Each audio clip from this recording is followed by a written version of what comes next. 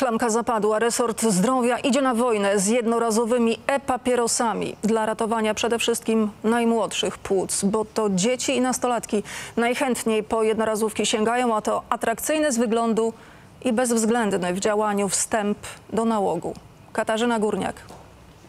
Są smaczne, pachnące i mogą nie doczekać do lata. Kwiecień na pewno jest tym terminem. Terminem, w którym to będzie już nielegalne. Pracujemy w Ministerstwie Zdrowia nad ustawą zakazującą jednorazowych e-papierosów. O ten zakaz apelowały środowiska medyczne i pacjenckie, bo po jednorazowe e-papierosy sięgają głównie dzieci. przerażający obraz tego, co się dzieje. Dzieci typu 13-15 lat palą więcej niż nałogowy palacz. Bo połowa uczniów przyznaje się do codziennego palenia e-papierosów, a co piąty właśnie do jednorazówek ze względu na ich smak i zapach. Co trzeci uczeń zużywa jednorazówkę zaledwie w dobę, to tak jakby w dobę wypalić trzy paczki papierosów tradycyjnych. Sytuacja w Polsce pod tym względem rozpowszechnienia palenia elektronicznych papierosów wśród dzieci i młodzieży jest e, bardzo niepokojąca. Jesteśmy e, w niechlubnej czołówce krajów Unii. Nie śmierdzą, więc nie wyczują ich rodzice, a do tego są tanie. One marketingowo są przygotowane dla dzieci.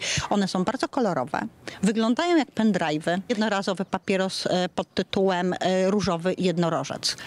To na pewno nie jest produkt, który ja bym chciała kupić. Ale to, że coś jest słodkie i pachnie, Wśród młodzieży słyszę, że oni tylko parę wodną wdychają. nie znaczy, że nie jest toksyczne. substancja słodząca w papierosach, sukraloza, po podgrzaniu w papierosie rozpada się, uwalniając z siebie chlor. W Polsce od kilku lat ponownie wzrasta liczba palaczy, a przyczyniają się do tego właśnie e-papierosy. Jednorazówki to dzieciom otwierają drogę do nałogu, bo z kupieniem ich nie mają problemu. zalew e, tych produktów na rynku e, powoduje, że żadna instytucja w zasadzie nie kontroluje tego. Już co piąty sprzedawany na świecie papieros to smakowa jednorazówka. Mówimy o bardzo szybkim wzroście tego rynku. Trzy, trzykrotny wzrost w ciągu roku. A zarabiają na tym wzroście Chińczycy. Do nas zostało zaimportowane przez producentów z Chin, którzy to nie mogą tych produktów sprzedawać w swoim kraju, ponieważ jest to zakazane. A ten produkt zawiera również baterie, akumulatory, grzałki i plastik. W ubiegłym roku w Polsce kupiono, a potem wyrzucono około 100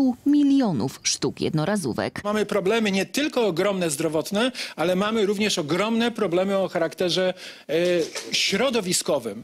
Katarzyna Górniak, fakty.